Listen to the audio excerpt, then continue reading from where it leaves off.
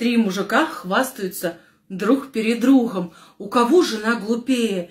Первый говорит, моя купила принтер. Тишина. Он, а компьютера-то нет. Все смеются. Второй, а моя купила сейф для бриллиантов. Молчание.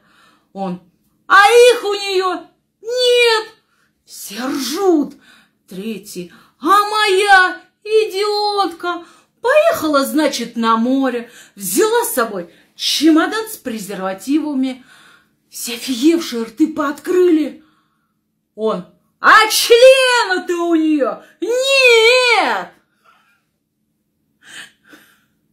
Не забывайте, подписывайтесь на мой канал и ставьте лайки.